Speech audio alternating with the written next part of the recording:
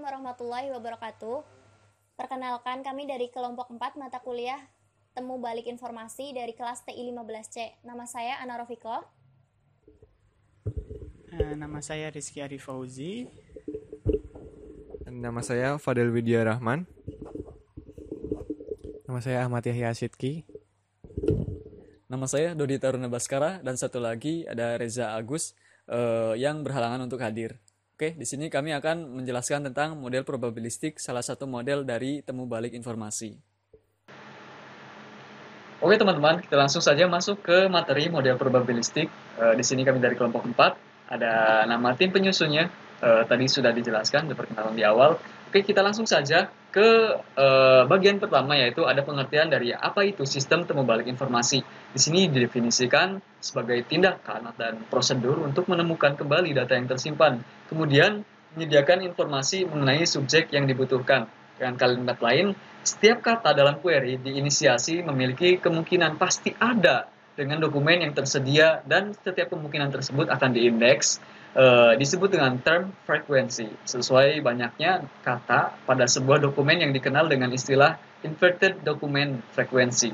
Nah, sebagai acuan perankingan dokumen yang akan ditampilkan. Hal ini menjelaskan bahwa kemampuan dari model ini selain mampu melakukan perangkaian dokumen eh, satu dua dokumen, model ini juga mampu melakukan partial matching query dokumen yang dianggap sesuai. Oke, eh, selanjutnya apa itu model probabilistik?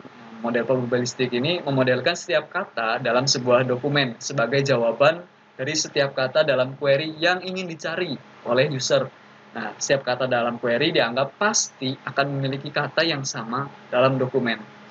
Nah, di sini tindakan tersebut mencakup text indexing, inquiry analysis, relevance analysis, dan mencakup teks, table, gambar, ucapan, video, dan lainnya, serta informasi termasuk pengetahuan terkait yang dibutuhkan untuk mendukung penyelesaian masalah dan akuisisi pengetahuan. Nah, tujuan utamanya dalam informasi retrieval atau temu- balik informasi adalah menemukan kembali atau memenuhi kebutuhan informasi pengguna user dengan meretrieve semua dokumen yang relevan dan meretrieve dokumen yang tidak relevan. Oke. Oke, selanjutnya ada perhitungan model probabilistik, teman-teman. Apa sih itu? Nah, model probabilistik ini adalah model sistem temu kembali informasi yang mengurutkan dokumen dalam suatu urutan menurun terhadap peluang relevansi sebuah dokumen eh, terhadap informasi yang dibutuhkan. Maksudnya gimana ini, teman-teman? Eh, beberapa model juga dikembangkan berdasarkan perhitungan probabilistik, yaitu ada binary model, ada model OKP BM25, ada Bayesian network model dan perhitungan lainnya di model probabilistik masih ada yang bisa digunakan untuk melakukan perhitungan terhadap data model eh, untuk memenuhi kebutuhan informasi dari penggunanya dari user.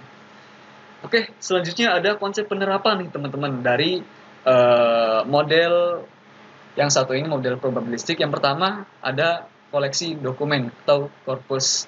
Nah, di koleksi dokumen ini eh, itu digunakan untuk eh, memenuhi kebutuhan dokumentasi dari si database-nya. Di sini eh, di sini dokumen-dokumen dikumpulkan eh, dan disimpan dalam database untuk membaca eh, apa namanya informasi-informasi yang dibutuhkan dari user nanti. Ada juga text operation eh, terhadap koleksi dokumen dan selanjutnya ada tokenisasi yaitu proses pemisahan kata maksudnya apa? Yaitu tokenisasi dilakukan akan menghasilkan potongan kata eh, kata tunggal atau term yang nantinya akan diindeks. Nah, dalam proses ini teman-teman juga dilakukan penghapusan karakter-karakter tertentu yaitu tanda baca serta mengubah semua term atau kata ke bentuk huruf kecil atau lowercase. Selanjutnya ada eh, linguistic pre- pre-processing teman-teman. Maksudnya apa ini? Ini adalah penghapusan stop words eh, di mana term atau kata-kata yang dianggap umum akan diabaikan eh, dalam proses indexing. Karena itu, term tersebut dihapus dalam dokumen. Oke, teman-teman, selanjutnya masih dalam konsep penerapan eh, model probabilistik ada stop word. Apa itu stop word, teman-teman? Itu adalah kata-kata yang eh, kata-kata buang yang tidak digunakan sebagai istilah indeks. Stop word sangat diperlukan dalam sistem temu balik informasi karena kata-kata penghubung yang diinputkan pada query dianggap tidak perlu karena hanya akan memperlambat kinerja sistem.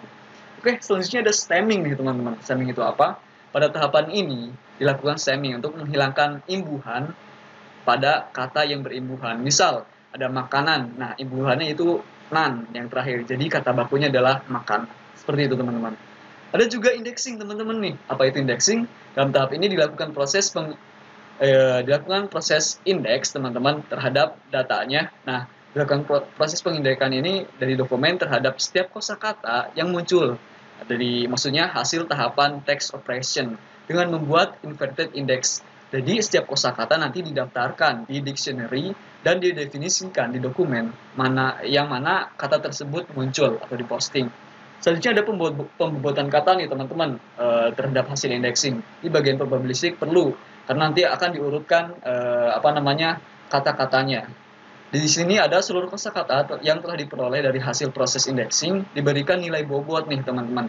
Pada analisa tugas akhir ini pembobotan yang dilakukan e, adalah memberikan nilai 1 dan 0 pada masing-masing term pada query dan juga pada koleksi dokumennya. Nah, setelah itu, yang terakhir ada pembobotan kata pada query-nya. Tadi kan pada termnya, pembobotan kata saja pada hasil indexing. Sekarang langsung pada query-nya, teman-teman, eh, pembobotan kata pada query juga menggunakan pembobotan biner, yaitu bernilai 1 dan 0. Berarti ada yang berarti 1 itu, dan 0 yang berarti tidak ada. Oke, selanjutnya teman-teman, kita masuk ke eh, model algoritma probabilistik nih teman-teman uh, di situ ada mulai uh, langsung ke bisa kita lihat di sini. Oke teman-teman uh, bisa dilihat saja di situ ada uh, artificial query. Dan di juga selanjutnya ada lakukan pemecahan kata pada query. Nah setelah uh, query itu didapatkan dilakukan pemecahan kata. Seperti tadi misal ada kata e, menggunakan menjadi guna dan memisahkan kata-kata penimbuhannya kayak seperti itu. E, dan juga e, menempatkan nah ini ada menempatkan awal operationnya. E, setelah itu ada stop word nih teman-teman. Stop word itu digunakan untuk e, menghilangkan kata-kata yang tidak perlu. Nah jika iya ada kata-kata yang tidak perlu maka kata-kata itu akan dihapus masuk sini, kata-kata akan dihapus. Uh, setelah dilakukan penghapusan, lalu masuk ke uh, apa query uh, di dalam term itu sudah sudah sesuai dengan dokumennya. Nah, kalau tidak langsung masuk sini tanpa ada penghapusan kata. Selanjutnya ada uh, ya di sini bisa dilihat teman-teman langsung seperti itu.